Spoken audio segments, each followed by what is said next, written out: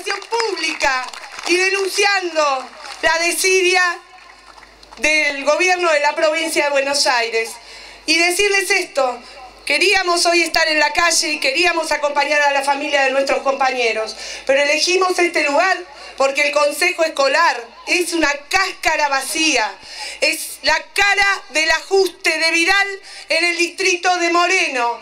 El interventor es el delegado de María Eugenia Vidal en el distrito de Moreno y también es responsable de lo que pasa en nuestras escuelas, como lo es Sergio Siciliano, como lo es Sanchezini y sobre todo María Eugenia Vidal y Mauricio Macri, compañeros.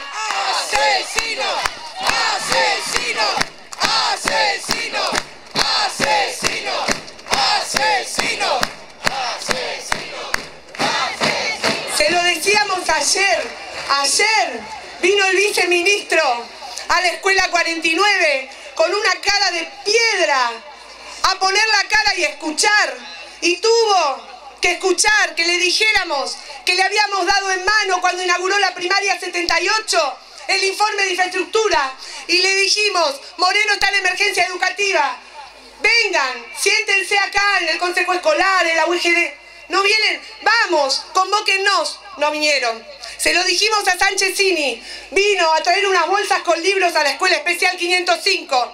Le dijimos, Moreno está en emergencia educativa, la declaró el Consejo Deliberante, la declaró el Consejo Escolar, la declaró la UGD.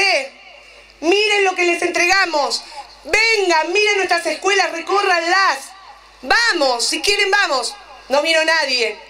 Y Vidal recibe la información de Moreno directamente del interventor, compañeros. Es su delegado en el distrito. No pueden decir que no sabían lo que pasaba en el distrito. Lo sabían y tomaron la decisión política de subejecutar presupuestos, de parar las obras en diciembre de 2015, de no hacer un programa de mantenimiento de edificios escolares, de no nombrar inspectores de infraestructura para 280 locales, que son nuestros locales de trabajo, donde nosotros enseñamos y donde nuestros pibes tienen que aprender. ¡Basta! Condiciones dignas para enseñar y aprender. Por eso estamos acá. No vamos a aceptar que nos mantengan al nivel de subsistencia como quieren. Tenemos escuelas paradas. Tenemos a los pibes de la secundaria 32 mirando desde la, plata, desde la planta alta de la primaria 8 como el edificio que está al 80% se cae a pedazos mientras le ofrecen droga en el playón que está abandonado. Tenemos a los pibes de las 57 en aulas de Chapa esperando la obra que les prometió Finocchiaro, el actual ministro de Educación y que no la cumplió, está abandonada. Tenemos a los pibes de la primaria 84 que están en el aula de Chapa y que tuvieron que construir ese, esa escuela de urgencia por una orden judicial, por la cantidad de pibes que no están escolarizados en cuartel quinto. Y eso que tenemos las aulas con 40, 50 y hasta 60 pibes. Eso es lo que quieren. No hay salones, no hay salones. A los estudiantes de la media 6 el año pasado cuando hicieron una sentada pacífica, le mandaron la gendarmería. Esos son. Y nosotros, hoy, ayer y mañana, y desde hace un tiempo, estamos construyendo unidad para enfrentar esas políticas de ajuste. No vamos a permitir que un compañero más muera al llegar a la escuela. No vamos a permitir que nuestros pibes estén en situación de riesgo.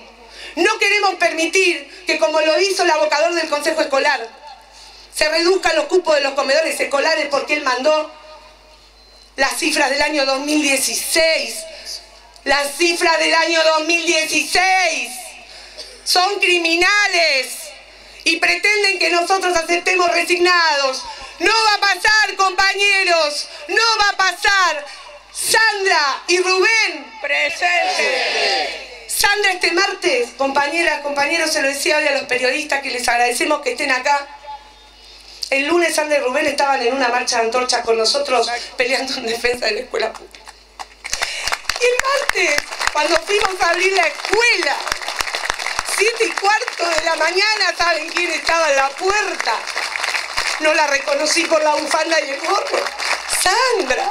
Sandra estaba a siete y cuarto el martes y hoy no está. Y Rubén había estado en tantas movilizaciones para que no traspasen el CFP, acá están sus estudiantes, al Ministerio de Trabajo, porque él además de auxiliar, era instructor de carpintería.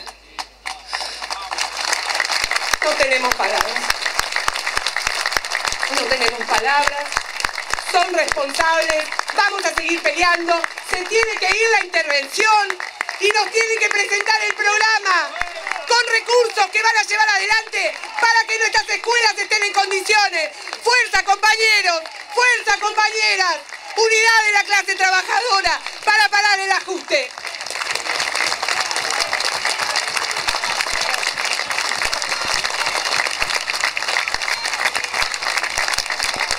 Y ahora nos vamos a ir, nos vamos a ir a acompañar a las familias al velatorio de los compañeros y necesitamos que todos nos vayamos organizadamente para poder garantizar nuestra presencia ahí donde tenemos que estar. Estamos acá porque llevamos sus banderas y vamos a estar allá porque no olvidamos, no olvidamos. Justicia para Rubén, justicia para Sandra. Presentes, ahora y siempre. Ahora y siempre. Ahora y siempre. Gracias compañeras, compañeros.